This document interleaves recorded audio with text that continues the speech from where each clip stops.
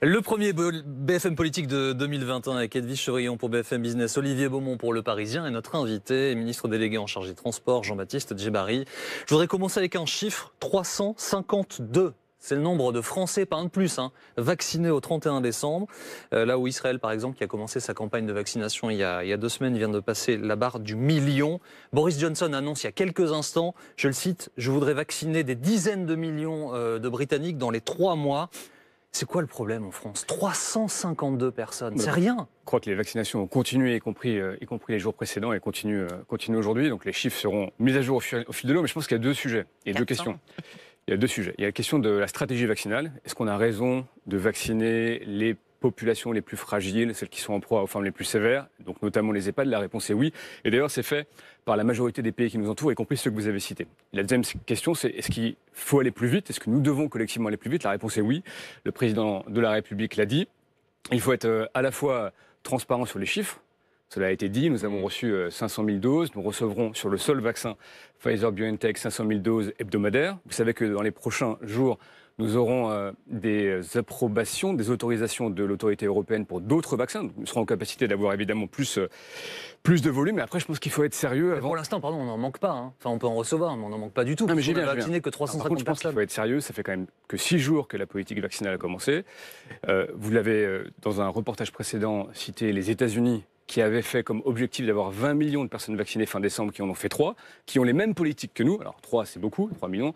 Mais ce que je veux dire par là, c'est que ces polémiques, elles existent. Donc on ne fait pas le bilan d'une politique vaccinale six jours après le début de la politique vaccinale. Pour autant, je pense qu'il faut euh, raisonner non, mais en période de crise. Non, mais je vais vous couper, Jean-Baptiste Gébarry, parce que cette phrase, je l'ai lue comme tout le monde euh, dans la bouche de Gabriel Attal. Ce sont des éléments de langage. On ne fait pas un bilan de politique vaccinale après six jours.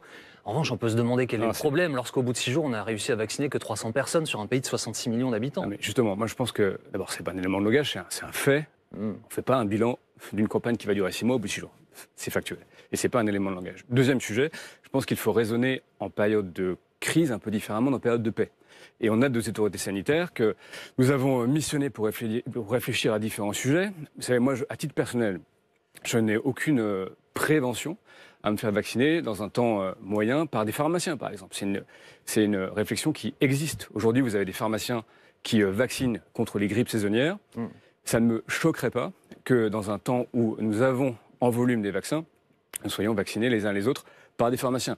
Il y a des sujets sur, par exemple, les, deuxièmes doses. D'ailleurs, contrairement à ce que j'ai entendu, et pour avoir parlé avec le gouvernement anglais, c'est avec les Anglais euh, diffèrent la deuxième dose de trois semaines. On vaccine une première dose, vaccine une deuxième dose euh, six semaines plus tard, de manière à faire en sorte de pouvoir vacciner le plus de personnes possible au cours des premières semaines. Ça aussi, ce sont des sujets qui peuvent être abordés. Il y a aussi des réflexions au cours sur le sujet. Et je ne doute pas que de la même façon que nous accélérons sur les personnels soignants, nous serons en capacité d'accélérer plus globalement. C'est en tout cas le sens du message très clair qu'a euh, donné le président de la République lors de nos différentes Le président de la République, vous dites qu'il n'y a pas de polémique, mais c'est lui-même qui fait part de son mécontentement depuis plusieurs jours auprès de tous ses interlocuteurs. Et jeudi soir, à l'occasion de ses vœux télévisés, je le cite, il a parlé de lenteur injustifiée qui ne laisserait pas s'installer pour de mauvaises raisons. Jean-Baptiste Djebari, ce sont quoi ces mauvaises raisons aujourd'hui? Un gouvernement qui serait trop prudent, voire sclérosé, euh, des contraintes logistiques qui auraient été mal anticipées, une administration qui serait trop lourde Le président de la République a dit les choses très clairement. Il a dit sécurité, nous allons faire les choses de façon organisée, ordonnée et sécuritaire, et nous allons faire les choses de façon efficace. Et effectivement, ne pas s'embarrasser de lenteur ou de procédures administratives qui euh, ne produiraient pas là des effets suffisants, en tout cas qui seraient réellement des obstacles pour accélérer la politique vaccinale. C'est ça qu'il a dit, cet équilibre-là, sécurité et efficacité. C'est ce que nous, Il est pas nous allons mettre, visiblement du rythme. C'est ce que nous allons mettre en œuvre. Après, si on dézoome 30 secondes, parce qu'on est aussi là aussi pour faire ça, on a, un on a une pandémie qui a commencé il y a un an. L'humanité a choisi pour elle-même de se protéger, au prix d'ailleurs parfois et souvent des économies. En un an, beaucoup de pays ont su produire des vaccins. En deux ans, on aura, je pense, la majorité des pays développés qui auront été en capacité de produire leurs propres vaccins avec l'objectif de protéger la totalité de la population mondiale. C'est donc c'est un progrès absolument extraordinaire. Mais quand les on plus petits États qui ont commencé à vacciner en même quand temps on que nous, sait qu'en moyenne, on met six ans à produire un vaccin. Donc ce que je veux dire, c'est qu'on a tendance, c'est normal, c'est aussi un peu le jeu médiatique, à avoir un prisme un peu déformant et à regarder jour ah après jour. C'est le président de la République qui fait part lui-même de ses, de ses doutes. Hein. Bien sûr. Mais ce que je veux dire par là, c'est que encore une fois, regardons les choses avec un peu de, distance. On a des premiers vaccins qui ont été autorisés. La France a sécurisé, vous le savez, avec l'Union européenne, plusieurs centaines de milliers de doses hebdomadaires. Cela va continuer et nous allons accélérer la politique vaccinale, le déploiement de notre stratégie vaccinale. Si, si, si je comprends bien ce que vous dites, Jean-Baptiste Desbarry, vous dites au président de la République d'avoir un petit peu de distance, parce que lui, visiblement, il n'est pas sur la même ligne que vous. Il trouve que ça ne va pas assez vite. Hein. Euh, mais euh, justement, est-ce que, que, je dis, mais ça ne nous aura pas échappé. Est-ce qu'il faut euh, peut-être changer la stratégie, créer des centres de vaccination? Vous parliez des pharmacies, c'est une des hypothèses sur la table. Je ne sais pas, il faut ouvrir des stades de foot, au moins il servira à quelque chose. On pourrait avoir... On y joue, hein, il n'y a pas de public, mais on y joue encore. Hein. On y joue encore, et vous êtes bien vous, vous le premier, Jean-Baptiste. Non, non c'est la stratégie, par exemple, des Anglais. Les Anglais disent, pour avoir parlé avec le ministre anglais, disent, euh, dès qu'on aura, et c'est le cas chez eux, l'approbation du, vaccin AstraZeneca, qui a des euh, procédures ou des modalités de stockage bien moins contraignantes que les vaccins actuels, qui ne nécessitent pas, par exemple, d'être stockés à moins de 80 degrés, ils vont utiliser, je, déroule, ils vont utiliser notamment, eux, des stades, euh, de manière à pouvoir vacciner mm. en masse leur population. Euh, Olivier Véran l'a dit, alors ce qu'on appelle des vaccinodromes, des centres de proximité, qu'importe. L'idée, c'est de pouvoir, dès lors qu'on a des doses de vaccins en masse, pouvoir rendre ce vaccin accessible à la plus large partie de la population et de façon très rapide. C'est l'objectif que, nous avons. Vous savez que le chiffre a été cité.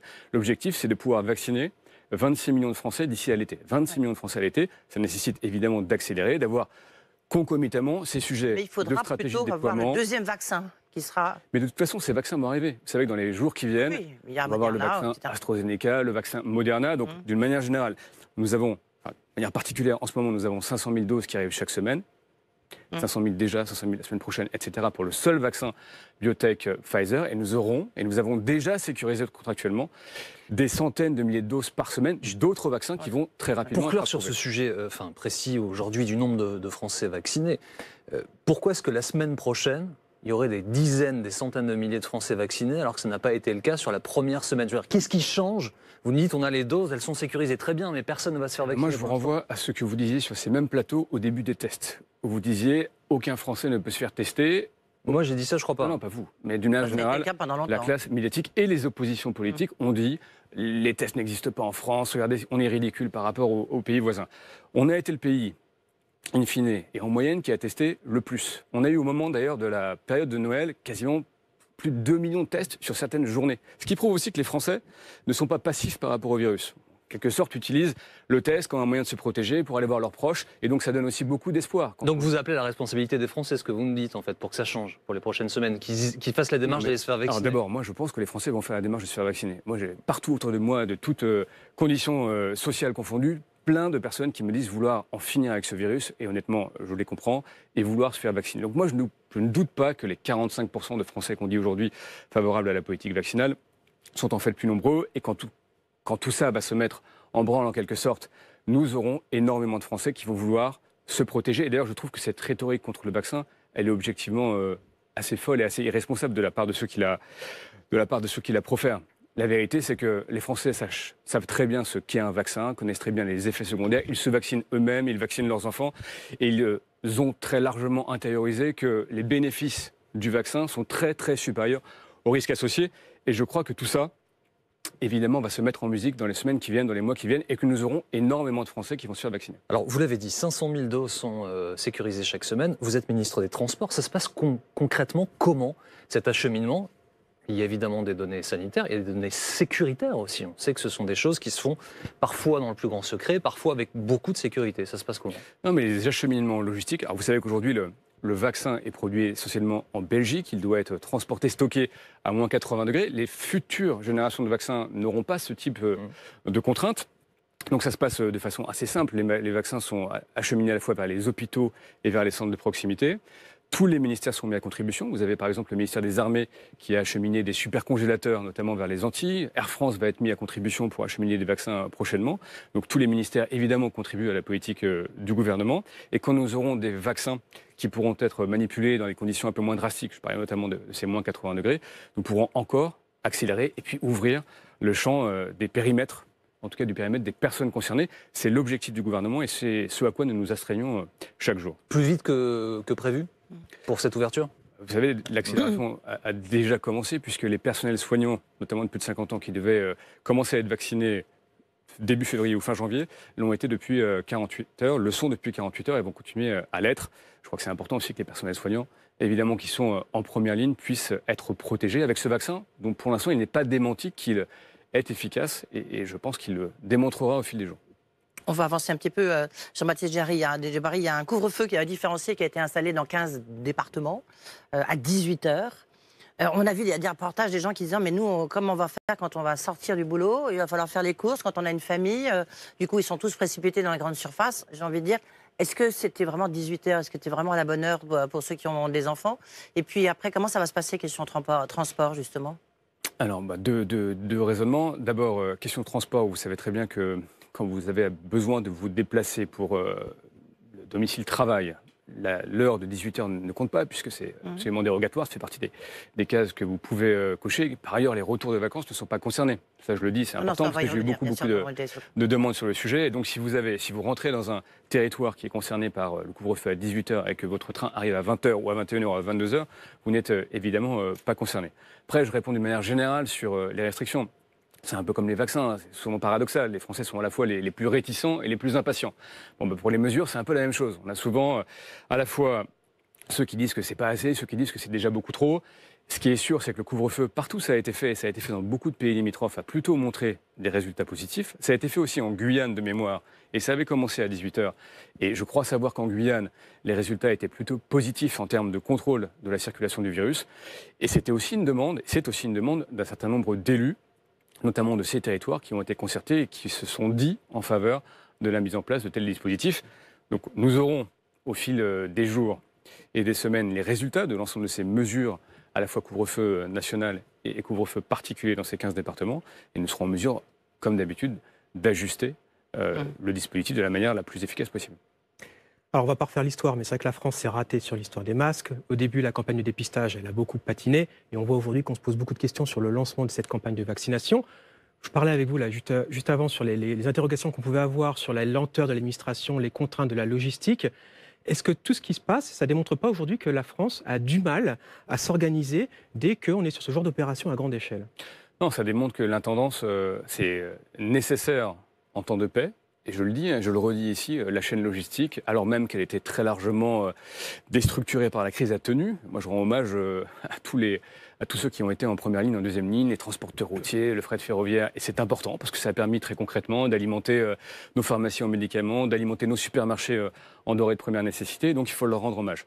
Mais la logistique et l'intendance, c'est vital en temps de crise. Et donc, je pense que nous devons toujours continuer d'apprendre nous devons toujours continuer d'apprendre. Et je vous le dis franchement, la bureaucratie, c'est quand même un peu un fantasme journalistique, désolé de le dire comme ça. Mais la vérité, c'est qu'en République. Enfin, pardon, mais c'est en République. Emmanuel Macron pendant sa ah campagne. Hein. Ah. Sauf à ce que Emmanuel Macron soit journaliste. Mais il y a un principe assez simple. Mais vous allez voir, moi je suis très à l'aise. Il y a un principe assez simple. C'est qu'en République, ce sont les ministres qui dirigent leur administration et pas l'inverse.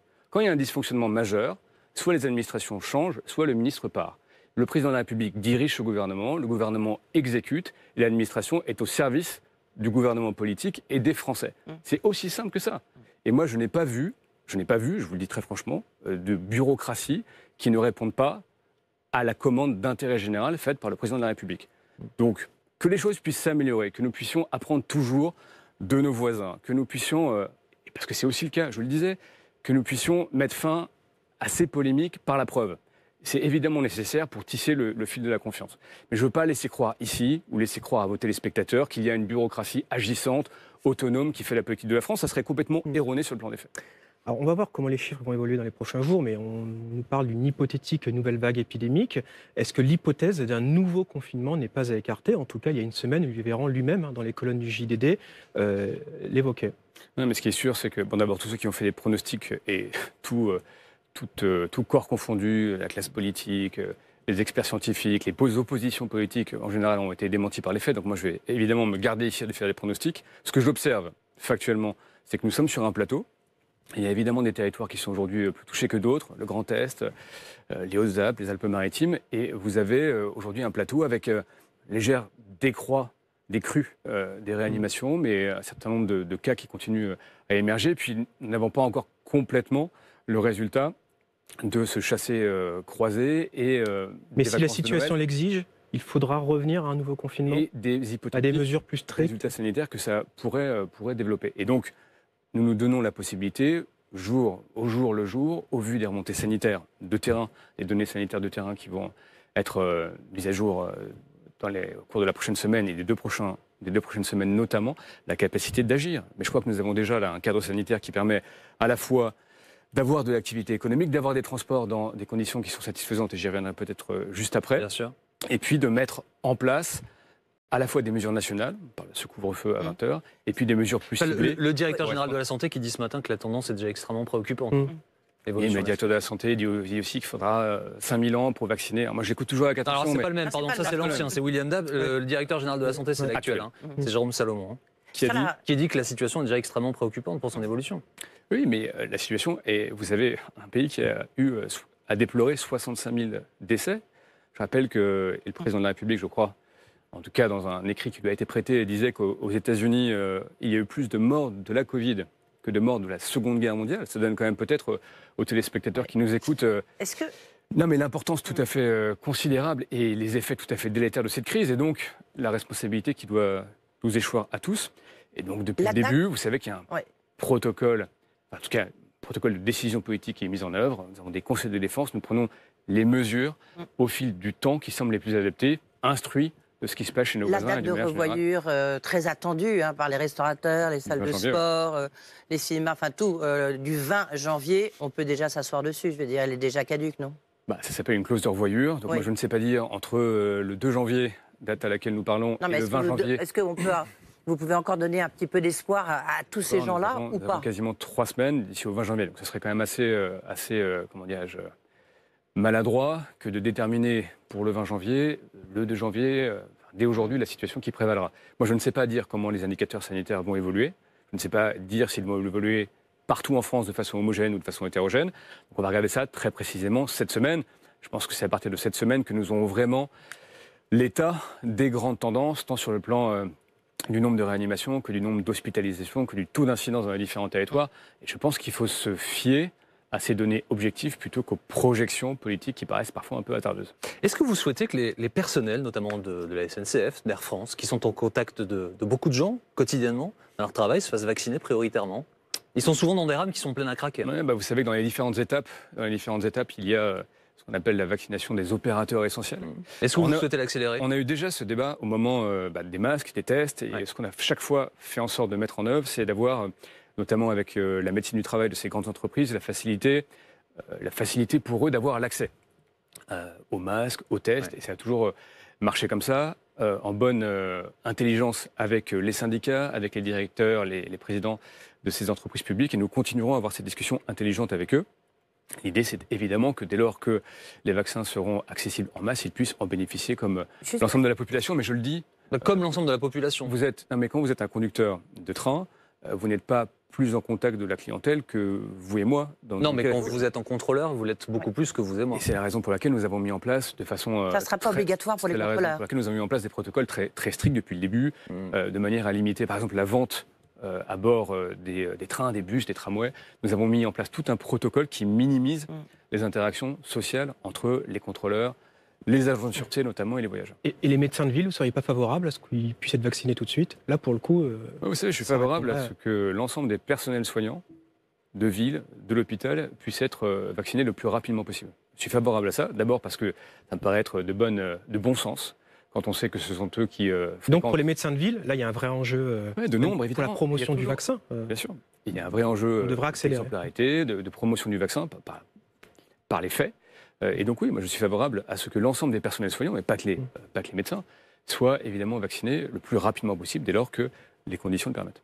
Alors, dans ce contexte de pandémie, évidemment, euh, les vacances sont en train de prendre fin aujourd'hui, hein, dernier dimanche des vacances. Est-ce que les Français se sont mas- massivement déplacés? Est-ce que vous avez des chiffres à nous donner Ouais. aujourd'hui? Bah, si on compare, si on regarde l'été et la période de Noël, en été, on avait eu euh, 85% des voyageurs par rapport à un été euh, précédent qui avaient voyagé. Et cette euh, période de Noël, on a vu voyager 70% des voyageurs habituels.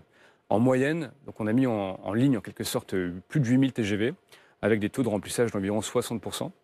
Donc vous voyez, c'est un Noël qui a vu euh, notamment deux grands chassés croisés, qui finit d'ailleurs pour l'un aujourd'hui. On a eu euh, à chaque fois à peu près 800 000 personnes qui ont voyagé à la fois pour aller en vacances, plutôt vers des destinations familiales, plutôt vers des grandes villes, hein, Bordeaux, Lyon, Marseille, et en revenir euh, hier et aujourd'hui. C'est beaucoup moins que d'habitude. Hein, pour le coup, dans ces grands chassés croisés, on a plutôt quasiment 5 millions de personnes. Mais on a vu voilà, les Français euh, choisir d'aller s'oxygéner, plutôt en famille, et, et, de le faire de façon euh, organisée, à l'aide évidemment à la fois de la SNCF et, et, de tous les opérateurs qui ont mis en place, et je le redis, c'est important, beaucoup plus d'offres de trains et d'avions que de places, euh, que de places réellement occupées, mmh. avec euh, ce taux d'occupation moyen de 60%. Ce qui n'a pas empêché du coup de revoir parfois quelques images de cohue dans les gares. En période de protocole sanitaire, c'est pas terrible, c'est même pire qu'une rêve partie en Bretagne. Alors, à la différence que, euh, d'abord, tout ça est organisé depuis euh, le 11 mai dernier, que contrairement à une rêve partie illégale en Bretagne, tous les passagers qui entrent en gare ont un masque, que nous avons fait en sorte de minimiser les flux, et que contrairement, évidemment les images font toujours mal, mm. je vous le concède, mais j'ai regardé les chiffres précisément, des trains remplis ou très remplis, c'est sur les 8000 TGV que j'ai annoncé tout à l'heure, c'est moins de 20% des trains qui ont été soit remplis, soit très remplis. Et donc nous avons fait en sorte de mettre le maximum de trains pour éviter. Et d'ailleurs, pour avoir beaucoup, 20%, oui, ben, ça fait quand même 80% des trains qui ont été euh, plutôt euh, que très moyennement remplis. Et quand je dis en moyenne 60% de taux de remplissage, ça veut dire aussi que vous avez eu beaucoup de trains qui étaient remplis à 15, 20, 30 Justement, c'est grand, grand retour aujourd'hui, hein, c'est le dernier jour, euh, vous, le disiez. Est-ce que, c'est, est-ce que vous avez mis en place un dispositif particulier dans les gares, dans les aéroports oui, Nous avons mis en place, donc, en plus de tout Sur les autoroutes, sur les routes et, En plus, neige. Je ne reviens pas dessus, mais il existe des protocoles très stricts que nous avons d'ailleurs fait évoluer au fil du temps, en rajoutant à la fois des tests antigéniques, bref. Oui, mais pour aujourd'hui Oui, j'y réponds, mais je rappelle quand même qu'il n'existe, mmh. enfin, d'ailleurs les Français le savent bien parce qu'ils voyagent, il existe des protocoles très dans les transports, masques, gel, l'ensemble des véhicules désinfectés plusieurs fois par jour, etc. Euh, en plus, nous avons voulu protéger des territoires qui sont fragiles et pour le retour des vols, euh, notamment d'outre-mer, Martinique, Guadeloupe, nous avons mis en place des tests à l'arrivée euh, de manière à nous assurer, à la fois protéger les voyageurs eux-mêmes, protéger la France métropolitaine. Il y a des tests pour tous ceux qui rentrent des dom D'accord. Et puis nous avons d'ailleurs depuis de nombreux, euh, de nombreux jours maintenant, de, de nombreux mois, mis en place des tests antigéniques au départ vers les Outre-mer pour protéger cette fois-ci les Outre-mer. Vous savez que par exemple pour la Corse, nous obligeons, nous avons obligé les tests PCR 72 heures avant le départ pour protéger le système sanitaire corse. Donc nous avons fait en sorte d'avoir pour les transports maritimes, aériens, évidemment ferroviaires, les protocoles, euh, parmi les mm. protocoles les plus stricts en Europe. Moi je suis allé voir hein, de mes yeux en Allemagne, aux Pays-Bas, en Espagne, au Portugal, au Royaume-Uni. Euh, je peux vous dire que nous avons, en Italie, nous avons probablement derrière les Italiens le protocole le plus strict. Donc euh, je veux aussi passer ce message aux Français et il a été d'ailleurs appliqué par l'engagement extraordinairement fort des cheminots, de l'ensemble des agents de ces grands services publics qui ont une conscience très aiguë de la nécessité de protéger leurs voyageurs. Euh, Jean-Baptiste Djebari, c'est l'hiver, il fait froid, il va neiger cette semaine. Je le rappelle, mais ce n'est pas une surprise, ça arrive tous les ans. Pourtant, pourtant, tous les ans, et ça s'est vu encore la semaine dernière, sur la 75. C'est mis à neiger. Des conducteurs sont engagés sur cette autoroute. Ils ont été bloqués des heures dans leur voiture en attendant les déneigeuses. Et c'est la même chose tous les ans. Pourquoi n'est-il pas possible simplement d'anticiper le fait qu'il va neiger sur certains axes et de refuser l'accès à ces, axes-là. Tous les ans, on a ces naufragés de, de, la neige, du froid, comme on les appelle, qui vivent des choses parfois très, très compliquées. Hein. il y a plein de sujets dans ce que, dans ce que vous dites. Il y a à la fois des, sujets d'information, il y a des sujets d'interdiction, notamment au trafic poids lourd, qui ne sont pas respectés. On a des poids lourds. Pas que poids lourds, hein, c'est pour les véhicules légers également. Hein. D'interdiction, mais notamment, je dis ça parce que souvent, ce qu'on a observé, c'est qu'on avait des trafics poids lourds qui se mettaient en travers de la route et qui bloquaient les axes. Il y a peut-être un sujet aussi euh, d'équipement, de culture. Je vous rappelle qu'au Canada, qui euh, vit euh, des grands froids très, très récurrents, les véhicules sont mieux équipés, des pneus neige et, une, culture un peu systématique de ce risque-là. Mais si on prend les choses dans l'ordre, par exemple, on sait qu'il va neiger dans cette zone-là, sur la 75 pour reprendre mon exemple. Euh, pourquoi est-ce qu'il n'y a pas de décision, je ne sais pas s'il doit être il y a eu des décisions préfectorales. De fermeture d'un axe Il y a eu des décisions préfectorales d'axe. Après, il faut aussi euh, renvoyer ça à des dimensions pratiques. Je ne dis pas que tout est parfait, que nous ne pouvons pas améliorer des choses. Et moi, j'ai notamment convoqué une réunion des directions régionales pour le début d'année pour vraiment essayer d'améliorer, parce que je partage cette frustration euh, avec vous. Mais on ne met pas une barrière sur notre route comme ça, vous voyez? Ça s'organise. Et donc oui, c'est un peu, je le concède, insupportable d'avoir chaque année ces mêmes sujets qui reviennent raison pour laquelle nous allons essayer d'améliorer très substantiellement les dispositifs pour l'année prochaine. Et Mais alors comment, convoqué. comment vous allez faire concrètement? Plus de contrôle, alors, Ouais. plus d'informations peut-être en amont, peut-être qu'on n'est pas notamment complètement à l'exigence sur l'information, plus de contrôle. C'est-à-dire quoi? Via quoi? Via le 107.7 sur les autoroutes? Via une application? Comment vous allez faire? Alors évidemment, par la, la voie de la radio, c'est une voie qui est très efficace. Nous allons mettre aussi à profit euh, les concessionnaires d'autoroutes, vous savez, qui gèrent quand même plus de 10 000 km de nos routes. Et Ouais. puis nous avons aussi du travail chez nous, au sein de nos directions des routes, pour, euh, de manière à fermer des axes de façon préventive quand cela est nécessaire, de pouvoir euh, organiser plus largement la- l'accueil de ces euh, personnes qui seraient, comme vous le dites, naufragées sur la route. Donc c'est aussi beaucoup de travail là aussi logistique, de manière à s'éviter ces scènes qui, c'est vrai, euh, d'abord sont dangereuses pour ceux qui les vivent, et puis font des images qui, évidemment, sont au détriment de... C'est- pas pour c'est pas pour insister, hein, mais est-ce que c'est pas fou qu'en 2020, enfin, euh, 2021 maintenant, on, on en soit aux mêmes situations tous, tous les ans? Vous n'êtes pas le premier ministre des Transports. hein, euh, beaucoup de vos prédécesseurs ont connu ces, ces situations, ont dû s'emparer des sujets, mais finalement, ça n'a jamais été réglé. Ouais, mais ce que vous dites, c'est, vous, vous parlez finalement du, du risque, des risques climatiques. Oui. des- enfin, vous parlez de ce même risque qui existe et qui fait que chaque année, on vit effectivement des épisodes neigeux qui ont ces conséquences-là. On vit euh, des épisodes d'inondation qui ont des conséquences, y compris pour la route. Et donc, il y a aussi le sujet de prévention, d'anticipation. Il y a un sujet d'adaptation. Là, je ne parle plus des épisodes neigeux, mais de ces épisodes qui sont de plus en Mhm. plus récurrents et qui nous renvoient à tout ce que nous faisons pour nous adapter à ces grands épisodes de dérèglement climatique et puis à ce que nous faisons plus structurellement pour combattre le dérèglement climatique. Vous voyez que tous ces sujets-là, en fait, se tiennent et que nous essayons d'y apporter une réponse beaucoup plus globale que simplement la, la simple information ou de prendre le, le petit bout de ces événements qui sont quand même des événements importants. Alors, juste avant le, le départ en vacances, j'ai reçu euh, dans BFM TVSD le, le patron de la SNCF. M. Farandou, euh, qui se disait confiant sur l'avenir de l'entreprise, euh, qui était touchée mais pas fragilisée par la pandémie. Est-ce que vous nous le confirmez? Il a raison d'être confiant, M. Farandou, que j'apprécie beaucoup et qui a, a vu depuis 2017 euh, le gouvernement qui a le plus investi dans le mode ferroviaire. Je le rappelle parce que c'est souvent un sujet qu'on a notamment dans les discussions politiques autour de l'écologie.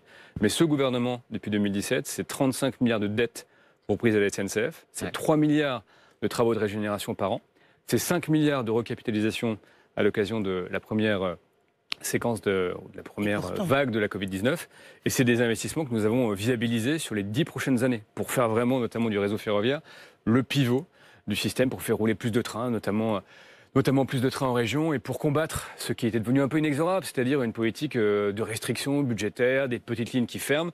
Et tout ça, nous avons mis cela en œuvre avec la SNCF, avec les différents partenaires en région, notamment pour avoir plus de frais de ferroviaire, pour avoir des petites lignes qui rouvrent. Donc il a raison d'être confiant, mais il peut être confiant, Jean-Pierre Farandou, parce que l'État est présent. Et parce que les- l'État est présent dans des proportions qui n'ont jamais existé auparavant. Et j'ai entendu Edwige Chevrillon dire et pourtant? Oui, et pourtant, quand vous voyez le. C'est dur pour la SNCF. Ça va être quoi les pertes en 2020 pour la SNCF Ah ben alors, les pertes en 2020, du Ouais. fait de, enfin oui, sont évidemment euh, très importantes du fait de la moindre Elles fréquentation. seraient de combien? Vous avez déjà. Plusieurs milliards, et vous le savez, tout cumulé, c'est- plusieurs milliards. Raison pour laquelle nous avons déjà fait cette première euh, recapitalisation. Moi, j'avais cité un chiffre, vous savez, c'est quasiment. Quand quand vous faites rouler des TGV à vide ou avec une Mhm. fréquentation de 10%, ce que nous avons fait pendant les, les premiers mois de confinement, c'est quasiment un milliard par mois. Mais c'est un puissant fond, non? C'est pas un puissant fond, d'une manière générale. La SNCF, enfin, la SNCF, le système ferroviaire, les opérateurs. D'abord, les Français aiment la SNCF, aiment cette marque. C'est euh, à la fois les transports longue distance et donc l'imaginaire du voyage et aussi euh, les transports dans les territoires. Et quelque part, c'est aussi un remède anti-gilet jaune. Moi, j'ai vu beaucoup dans les territoires au moment de cette crise. Beaucoup de Français jugeaient que le retrait de l'État était symbolisé à la fois par les services publics qui fermaient, mais aussi par ces petites lignes qui, tout près de chez eux, c'est le cas en Limousin, où je suis élu, euh. Et, et je pense qu'ils avaient raison. Et qu'il faut à la fois faire bouger la SNCF, faire bouger les opérateurs ferroviaires. Vous savez, moi, je suis un fervent défenseur de ce qu'on appelle les trains plus légers. On n'a pas vocation à faire rouler des trains lourds, entretenus et acquis très cher en France, alors qu'ils sont très peu fréquentés. Donc il faut aussi faire pivoter tous ces modèles qui sont des modèles un peu ancestraux et honnêtement assez inadaptés. C'est euh, l'objet, l'objectif que je vais fixer au ministère des Transports et je crois qu'il commence vraiment à être attendu par tous les, euh, par tous les acteurs. Mais je le dis, la politique ferroviaire est au cœur de l'action de ce gouvernement et continuera de l'être jusqu'en 2022. Sauf que c'est vrai que la pandémie a un petit peu plombé tout ça et l'ouverture à la concurrence est arrivée dans ce contexte-là. Résultat, aujourd'hui, il n'y a aucun train étranger qui circule en France. Est-ce que euh, le coronavirus n'a pas tué la réforme ferroviaire? Non, D'ailleurs, la, la concurrence euh, demeure une réalité. Il y a des trains français qui roulent, par exemple, en, en Espagne. Euh, donc la concurrence en Europe, c'est une réalité. C'est vrai que la Mais pas en concurrence France. en Ouais. France, elle a été de fait, quand vous avez une crise majeure, que vous avez des opérateurs, la SNCF au premier titre, qui est quand même très impactée par la crise, d'autres opérateurs français et étrangers qui subissent euh, des impacts tout aussi considérables, on peut comprendre que si vous voulez, par exemple, M. Beaumont, euh, monter une entreprise ferroviaire, venir opérer du Paris-Lyon en TGV, ça va quand même vous coûter quelques, quelques euros en investissement. On peut comprendre que c'est peut-être pas le moment dans lequel vous décidez de le faire. En tout cas, peut-être que vous délayez ce, type d'investissement. Pour autant, moi, je crois beaucoup, notamment sur euh, le TER et sur les, ce qu'on appelle des lignes d'équilibre du territoire, à la vertu de la concurrence, qui permettra, et on a commencé à le voir, d'avoir euh, d'autres modèles économiques plus, résilients, plus, plus innovant et de faire rouler des trains avec un meilleur service pour l'usager, parce que c'est ça, in fine, qui nous intéresse. C'est pas d'avoir un système ferroviaire qui euh, coûte moins cher, c'est évidemment bien pour la collectivité, mais c'est qu'on ait un service supérieur, plus de fréquences, plus de fréquentation dans les trains et plus de services aux usagers dans un monde qu'on espère bientôt sortir du Covid, évidemment. Ah, vous parlez de l'imaginaire des vacances, des voyages. Je vais euh, citer une ligne, Paris, Tarbes, Hendaye. Première ligne relancée en mm. train de nuit. Euh, est-ce que c'est toujours d'actualité pour quand? Est-ce qu'il y a d'autres lignes qui sont prévues? 2021-2022, nous allons rouvrir euh, deux lignes, Paris-Tarbondaï que vous avez cité, Paris-Nice. Et nous allons essayer de le faire aussi dans les bonnes conditions. Est-ce que vous avez des dates plus précises, pardon, Jean-Baptiste Djebari alors, on a lancé les, on a lancé les appels d'offres et les dates, ça m'échappe un peu, mais je crois que c'est avril 2021 pour, euh, pour, la première, pour la première ligne. Nous avons, en tout cas, je vous le dis de façon un peu différente. Moi, ce que je veux, c'est que d'ici à l'été prochain, donc l'été 2021, on ait une première belle saison de train de nuit. Et donc, typiquement, à la fois sur la ligne Paris-Nice et sur la ligne Paris-Tarbes-Hendaye, qui sont des destinations culturelles aussi. Tarbes, vous avez Lourdes et vous avez toute la façade atlantique. Et puis évidemment, le Paris-Nice qui a été une ligne très fréquentée. Je veux que cette première année soit une période réussie post-Covid. Et on voit bien que beaucoup d'ailleurs de Français, qu'ils soient jeunes et moins jeunes, ont envie de train de nuit. Il faut le faire dans les bonnes conditions. Une façon un peu classique de le faire aurait été de régénérer les trains de la SNCF pour la énième fois consécutive. Moi, je pense qu'il faut aller vers, et c'est la raison pour laquelle je me suis rendu dans différents pays étrangers pour essayer de voir quelle offre était disponible en train, pour voir si on ne pouvait pas recréer plusieurs classes, peut-être trois classes, avec euh, vraiment des petits prix pour ceux qui, euh, notamment les jeunes, cherchent à voyager pour pas cher, et puis euh, des formules plus premium, comme on dit, pour voyager d'une façon un peu différente. Donc je veux qu'on recrée le train de nuit mais pas à l'identique. Et je veux qu'on fasse un premier bel été en 2021. Et c'est l'objectif que j'ai fixé. Euh, D'un mot là-dessus, pour ceux qui se souviennent des trains de nuit, c'était pas les trains les plus sécurisés du monde. Hein. Oui, c'est vrai. Voyager dans ces conditions-là. un des sujets pour les femmes notamment. Ouais, bah oui. Donc ah ma question porte là-dessus. Euh, euh, il y aura des efforts singuliers, particuliers pour, sur ces questions? Alors, deux types d'efforts. D'abord, nous avons. il y avait des, wagons, des wagons pardon, qui étaient réservés aux femmes. Et je suis allé notamment en Russie récemment visiter, visiter des wagons russes qui qui sécurise très, très, largement et beaucoup mieux que nous les wagons avec des clés électroniques qui sont nominatives. Vous les avez pour le temps du voyage et ça vous permet de n'avoir, en tout cas, que la cabine, que le compartiment ne soit accessible qu'à ceux qui ont la clé. Donc c'est des dispositifs aujourd'hui très simples, très opérationnels. Et c'est ce type de dispositif que nous allons euh, installer dans tous les wagons de train de nuit pour notamment permettre aux femmes de voyager en sécurité. Jean-Baptiste Djebari, il y a un autre gros dossier, il y a la SNCF, bien sûr, il y a Air France. Alors on va revenir sur Air France. Parlez chez vous. Recapitalisation, vous êtes venu en parler absolument euh, sur BFM Business. Juste avant, euh, il y a le plan de restructuration de la filiale régionale HOP vient d'être bouclé, c'était juste avant les fêtes. Il y a 1700 départs sur 2400 salariés, donc c'est dire si c'est quand même assez violent. Est-ce qu'il y aura des départs volontaires? C'est la grande interrogation et inquiétude des syndicats. Bah, l'objectif du groupe Air France, c'est à la fois de restructurer son réseau domestique, qui, vous le savez, perdait 200 millions d'euros par an, et ça ne datait pas d'aujourd'hui, qui avait nécessité de restructurer, d'éviter le maximum de départs contraints, donc d'avoir recours à des mobilités internes, évidemment euh, au euh, transfert dans les filiales, notamment vers la maison mère, quand cela est possible, le groupe Air France et puis de se donner la capacité au niveau du groupe de préparer l'avenir. mais sur Hop, est-ce qu'il n'y aura que des départs volontaires? C'était ça ma question. J'ai dit maximiser le nombre de départs volontaires et donc d'éviter le maximum de départs contraints. Donc il y aura des départs contraints. ce que je vous dis par là, c'est que je ne veux pas aujourd'hui. Vous savez, moi je suis euh, très prudent. D'abord, vous savez très bien, euh, nous avons un contexte dans lequel nous avons une politique du ferroviaire qui est va ah certains trajets. Non, mais je le dis parce que c'est important et ça a des impacts. Il faut que les Français le comprennent. Quand vous décidez de favoriser le train, ce que j'assume parfaitement pour des lignes de moins de 2h30, ça a évidemment des impacts sur des lignes qui étaient notamment opérées par HOP et qui vont voir leur réseau diminuer et donc possiblement le besoin en pilote, en hôtesse diminuer. Donc il y a un plan de restructuration de HOP qui correspond à l'ensemble de ces éléments-là qui sont objectifs. Baisse du trafic très, très fort et puis favorisation du euh, trafic ferroviaire sur certaines lignes domestiques.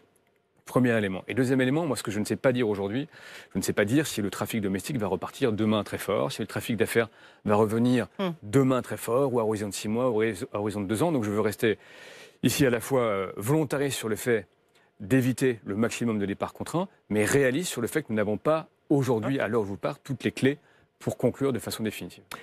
Alors l'État a déjà prévu un nouveau soutien massif à Air France, un 4 milliards après les 7 milliards qui avaient déjà été versés. Est-ce que vous pouvez nous en dire un petit peu plus, les détails concernant ce plan? Je peux vous dire la philosophie, je ne, je ne confirme pas ces chiffres. Cette euh, entreprise, évidemment, ce groupe est coté, vous comprendrez pourquoi je ne confirme pas ces chiffres, mais la philosophie du soutien de l'État, elle est double. D'abord, pendant la première phase très aiguë, nous avons soutenu le groupe Air France KLM en trésorerie. C'était la survie de l'entreprise la survie du groupe, pour pouvoir payer les salaires, pour pouvoir payer les frais de maintenance, pour que la compagnie continue à opérer. Et la compagnie, d'ailleurs, notamment Air France, mais pas que, a permis de participer très largement à ce qu'on a appelé le pont aérien, à l'effort logistique, et participera encore, je le disais tout à l'heure, à l'effort de transport des vaccins. Ce deuxième sujet de recapitalisation va servir à restaurer la capacité du groupe à faire face à l'après-crise. Et donc c'est important, mais ça se fait dans au moins deux conditions. La première, c'est d'être en accord avec l'autre actionnaire important qui est l'État néerlandais. Et ça, ça nécessite des discussions qui sont en cours, qui vont continuer encore dans les semaines qui viennent. Et puis, ça nécessite, deuxièmement, d'être d'accord sur la stratégie du groupe. Nous voulons en France une stratégie plus intégrée.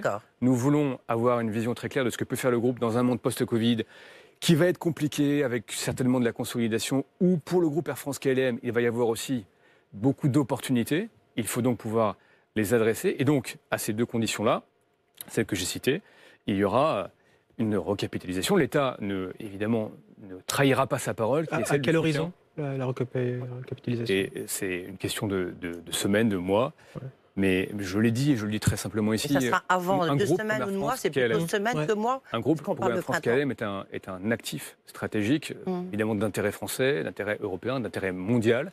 Et donc l'État soutiendra ce groupe, le groupe Air France KLM, selon des conditions qui seront. Justement, encore une petite question d'importance là-dessus. Est-ce que euh, l'État va, on en parle, hein, de doubler sa participation dans Air France, euh, monter sa participation à plus de 30%.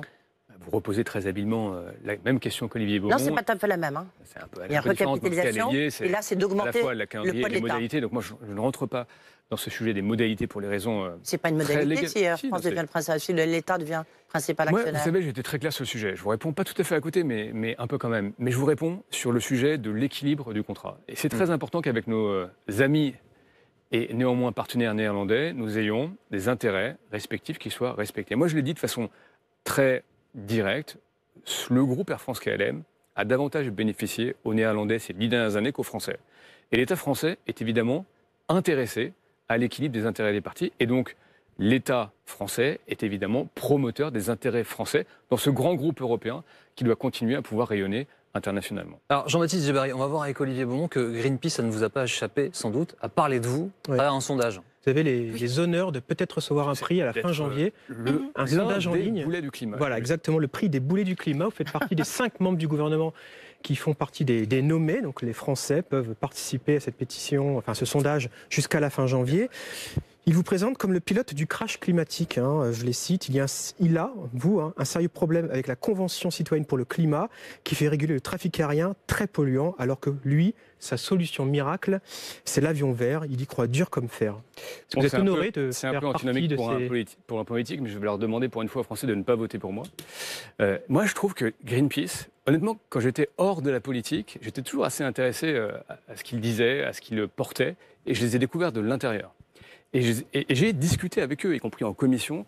Et en fait, c'est assez décevant et assez pauvre intellectuellement de l'intérieur quand on voit que c'est essentiellement, globalement, des raccourcis qui sont pris sur les plans factuels. Et c'est de l'idéologie qui est mise en œuvre.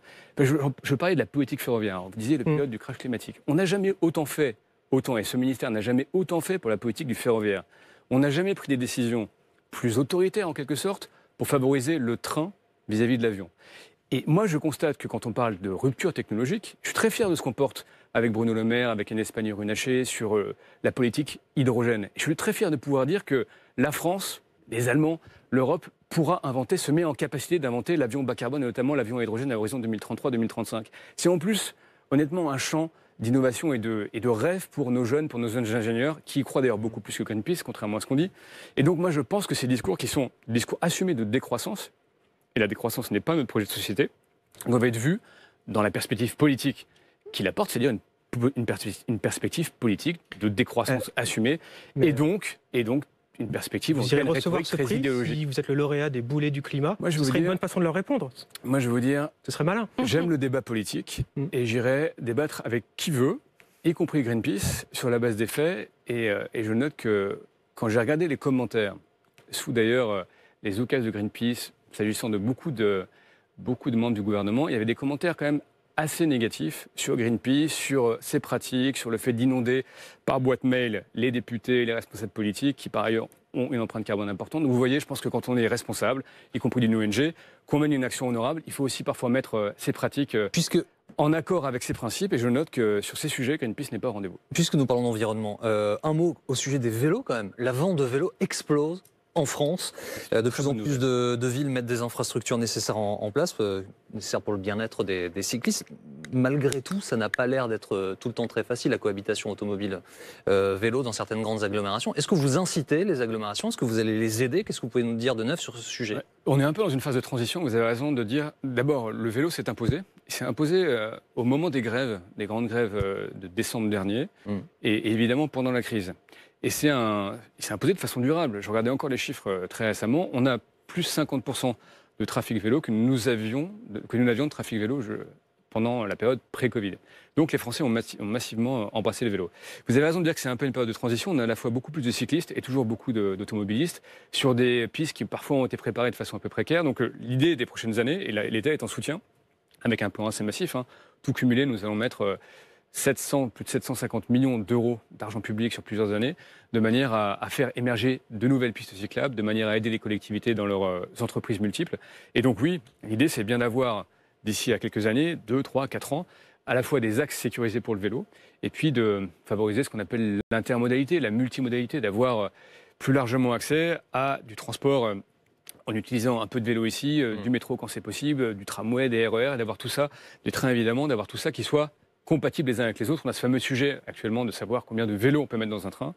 Mais je crois que c'est très important de dire que, et moi j'en suis très, évidemment très fier et très content, que les Français ont pris le virage du vélo. C'était quand même pas le cas il y a encore quelques années. On était très en retard vis-à-vis d'autres pays comme euh, les Pays-Bas par exemple, et nous sommes en train, et c'est une bonne nouvelle, de combler ce retard.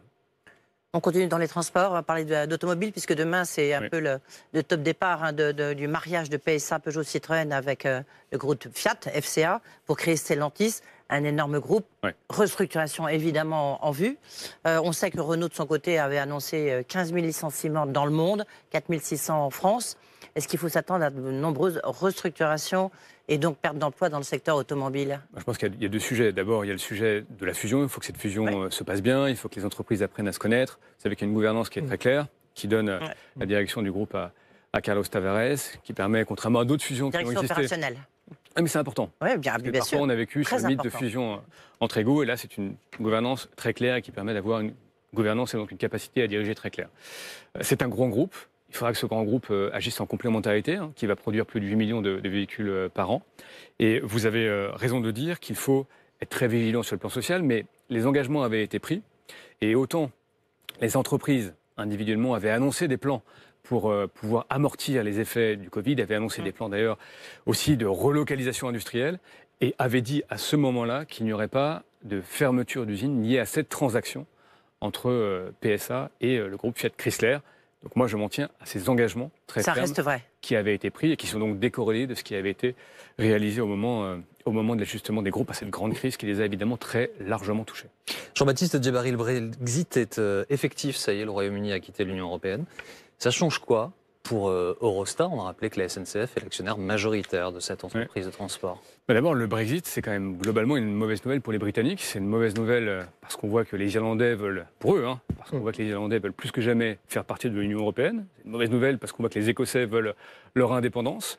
C'est une mauvaise nouvelle pour leurs services financiers, bref, pour leur économie. Et je crois vraiment que tous ceux qui ont menti, on a vu beaucoup de mensonges depuis 2014-2015, euh, notamment de ce qu'on appelle les populistes, notamment Nigel Farage qui à l'époque disait que le monde post-Brexit sera un monde idyllique pour les, Britanniques, je pense que ces gens-là vont être très largement et très prochainement démentis euh, par les faits. Bah, les Britanniques pour se nous, sont exprimés démocratiquement sur ce sujet. mais évidemment, et nous avons toujours respecté ça. Mm. Nous pouvons aussi juger, euh, et les premiers éléments euh, nous donnent, à, nous donnent à penser que le Brexit n'est pas une bonne nouvelle pour les Britanniques. Moi, j'ai vécu là-bas, je connais très bien le, la Grande-Bretagne. Je respecte évidemment beaucoup les Britanniques, leurs décisions souveraines. Et je pense que ce pays a des capacités de rebond. Mais je note que beaucoup ont menti. Le mensonge le plus éhonté étant celui de Nigel Farage au moment où il avait annoncé plus de 385 millions d'euros euh, par semaine réinvestis dans le système de santé. Bon, chacun jugera. et peut-être que les populistes ici pourront être, comment dirais-je, amortir leur, rhétorique euh, populiste et assez folle, notamment à l'égard, du vaccin. Est-ce que vous avez des craintes pour Eurostar? Sur Eurostar et d'une manière générale sur euh, les transports entre le Royaume-Uni et la France, nous avons préparé tout cela de longue date. Donc il y a aujourd'hui moins d'Eurostar qui circulent du fait des mm. restrictions sanitaires. Nous avons mis en, centre, en place pardon, de manière euh, dérogatoire des protocoles avec des tests pour nous prémunir juste là actuellement de la variante du virus britannique nous avons fait en sorte voilà, de mettre en place un nouveau système pour les routiers. Donc il y aura non pas une, un changement complètement de, paradigme, mais il y aura plus de formalités. Il y aura besoin d'avoir un passeport, par exemple, pour se rendre au Royaume-Uni. Il y a des tolérances. non, mais est-ce que ça veut dire moins de trafic? Est-ce que ça veut dire des pertes oui, ça veut dire... Euh, pour Eurostar? Est-ce que ça veut dire. Ça veut dire euh, Je vais être concret avec vous. Ça veut dire que sur l'année 2021, on anticipe, par exemple, tous azimuts, sur tous les modes de transport, une récession de l'ordre de 10%. Est-ce que cette récession, elle sera durable? Elle est aussi un peu le fruit de la crise. Hein. C'est difficile aujourd'hui de distinguer effet de la crise et effet du Brexit. Moi, je souhaite qu'elle ne soit pas durable. Nous avons fait en sorte de mettre les procédures à la fois les plus souples pour les passagers, pour euh, notamment nos transports autoroutiers, et puis celles qui permettent de protéger nos frontières. Mais oui, le Brexit n'est pas une bonne nouvelle, ni pour les Britanniques, ni d'ailleurs euh, pour l'Europe, parce que c'est euh, un grand pays européen qui part, et donc une capacité de rayonnement et de travail qui évidemment euh, s'envoie un peu. Et la récession pour les ports français, vous disiez récession de 10% pour Eurostar, récession pour les ports français, notamment le port de Calais. Vous bah, disiez on prenait le métro, on prenait le bateau, on allait à Douvres quoi. Quand je disais, euh, on passe aussi beaucoup par, par, Eurotunnel, donc euh, nous sommes évidemment très très vigilants. à mm. On ne subisse pas le dumping social, fiscal des Britanniques, au, terme de, de, port franc, de politique autour du duty free qui serait extraordinairement agressive. Dans l'accord, il y a des, des éléments qui nous en prémunissent. Le président de la République est d'ailleurs extrêmement attentif à ce sujet. Il nous a demandé euh, des stratégies, euh, nous a demandé de lui soumettre des éléments euh, de stratégie à annoncer. Donc nous allons faire ce grand travail-là.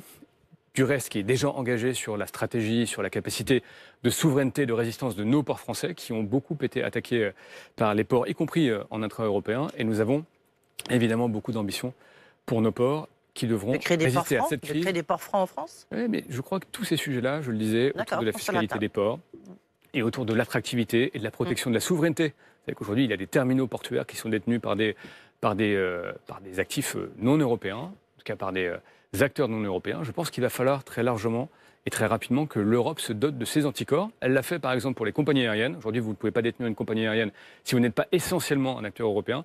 Je pense qu'il faut revoir nos politiques de souveraineté euh, dans les ports à l'échelle de l'Europe et de manière à nous prémunir notamment de prédations hostiles et donc des pertes de souveraineté.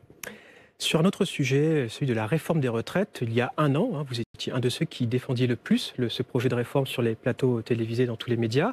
Euh, aujourd'hui, cette réforme, elle est, elle est, suspendue. Certains poussent pour la remettre en haut de la pile, comme Bruno Le Maire. D'autres sont plus réticents, comme Richard Ferrand. On ne sait pas trop encore aujourd'hui où en est Emmanuel Macron sur ce sujet-là. Quel est votre avis sur ce point-là? Point Est-ce qu'il faut la remettre sur l'établi, peut-être la dissocier, le paramétrique du systémique moi, je pense qu'il y, a deux, il y a deux sujets dans le sujet. Il y a le sujet, est-ce que dans la nouvelle économie que nous connaissons, et qui va continuer à, évoluer quelque part, la crise est encore un accélérateur de ce que nous connaissions précédemment. Est-ce qu'on a besoin d'un nouvel système social pour que les générations, quelque part, entretiennent la capacité de pouvoir d'achat de leurs aînés? Je pense qu'évidemment, oui. Mmh. La réalité, c'est qu'encore moins demain qu'hier, les euh, parcours de vie seront linéaires. Et que la question, c'est le calendrier. Est-ce qu'on fait ça avant la fin du quinquennat ou est-ce qu'on attend le prochain? Donc, est-ce qu'on a besoin d'un nouveau système de protection sociale qui, euh, comment dirais-je, correspond aux besoins, aux pratiques du XXIe siècle? La réponse est oui. Mm. Et donc, ça porte sur l'assurance chômage, ça porte sur notre système de retraite. Et d'ailleurs, ça devrait politiquement être un très beau projet solidaire. Bien sûr, mais tout de Je note que voilà, plus tard. n'a pas été abordé tel quel. Est-ce que ça doit être fait maintenant, de façon paramétrique, de façon mm. systémique? La question se posera évidemment. Vous avez Les orientations seront tranchées. Vous voyez, moi, ce que j'ai envie de préserver, je, vous donne un avis qui n'est mmh. que le mien. j'ai envie de préserver mmh. le cœur de cette réforme, c'est-à-dire une réforme de justice et qui adresse la réalité mmh. des parcours. La vérité, c'est quand même, et ça, c'est une, une, réalité qui n'a été démontie finalement que par très peu de personnes dans le débat public, c'est que notre système de retraite est plutôt un système qui euh, précarise ceux qui sont déjà des précaires, qui précarise les femmes qui subissent du temps partiel, qui précarise ceux qui, ceux qui ont eu des parcours hachés. Et ça, ça reste, ça reste une donnée objective qui vient faire que s'aggraver. Donc moi, je pense qu'on doit aller vers une très grande réforme de notre système euh, social. Donc une réforme systémique avant la fin du quinquennat. Ce serait. En tout cas, c'est ce qui me paraît faire hmm. consensus le plus possible dans la population. Chacun aujourd'hui a conscience, quand on observe les rapports qu'on a en intrafamilial avec nos parents, avec mmh. nos grands-parents, mmh. qu'il y a quand même des choses qui dysfonctionnent, qui dysfonctionnent en plus sur le temps long, et que si on ne les résout pas maintenant, comme on fait d'ailleurs la plupart des, autres gouvernements qui ont été finalement des, gestionnaires et qui ont souvent préféré vivre à crédit que faire les grandes réformes de structure, je pense que nous paierons de toute façon le prix dans les mois, dans les années qui viennent, et que ce serait de, de fait très irresponsable de notre part. Est-ce que vous avez des doutes sur la candidature présidentielle d'Emmanuel Macron? Parce que lui-même, dans une interview à Brut, euh, diffusée euh, sur BFM TV, il a dit que euh, peut-être il pourrait ne pas être candidat. Qu'est-ce qui pourrait l'empêcher d'être candidat? Est-ce que vous, vous avez des doutes? Moi, je crois que le président de la République a raison de, faire preuve d'humilité dans un moment où, honnêtement, celui qui avait pu prévoir il y a deux ans la survenue d'une pandémie mondiale, l'événement des Gilets jaunes, etc., je pense que aucun, personne n'a été, été, en capacité de prévoir ce qui est ah, arrivé en Vous n'avez aucun doute.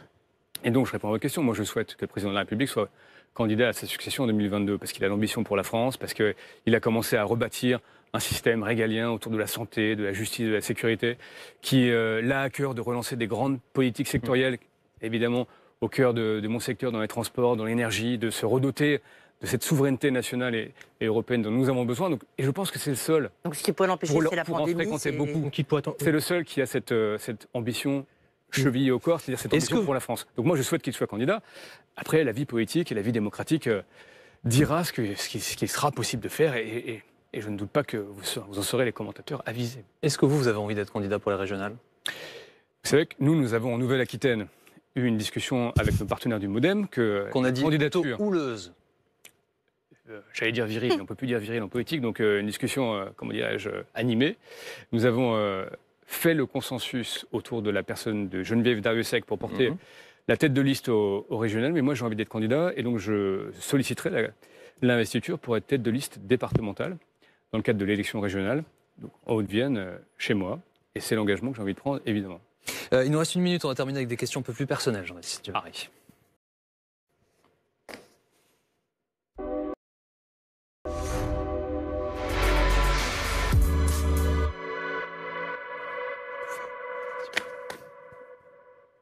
des questions rapides, des questions rapides, des réponses rapides, s'il vous plaît. Le dernier film que vous avez vu? Euh, Dernière série Netflix, euh, The Crown, quatrième saison, magnifique, un bel anglais, le personnage du prince Philippe absolument incroyable. Mm. Et on suit un peu l'épopée de, de Diana, difficile. Mais c'est une très belle série. Serez-vous le deuxième invité à ne pas nous parler de musique classique, euh, alors que je vais vous demander le dernier album que vous avez téléchargé? Sneezy, Nouveau Mode. Bien. Qu'est-ce que vous possédez de plus précieux? Je pense ma, conviction de faire les choses justes, de façon juste, et de jamais nier réellement euh, qui je suis, d'où je viens. Et, c'est un engagement évidemment qui est très largement politique. Un livre à nous conseiller peut-être? Deux livres, euh, une BD, Hanouna 2022. Je ne sais pas si vous avez lu, ou Hanouna Président. Ouais. Moi j'aime beaucoup Cyril Hanouna. Et, donc je trouve. C'est pas de lui hein, la BD, mais non, c'est sur lui et sur son, hypothétique candidature en 2022. Au-delà, au-delà de l'esprit caustique et, du traitement, c'est très intéressant sur l'analyse politique de notre société. Mm. Donc moi je le conseille évidemment. Et il y a un livre très intéressant de Salomé Berliou sur les jeunes Français ruraux et qui décrit très bien ce qu'on ne décrit pas souvent, c'est-à-dire euh, la France rurale et les jeunes en France rurale qui représentent plus de 60% de la population. Merci beaucoup Jean-Baptiste Djebari d'avoir été notre invité. Merci Olivier Edwige. Euh, dans un instant, cette affaire suivante euh, sur BFM TV. Je vous retrouve à 18h pour BFM TV. Très belle journée.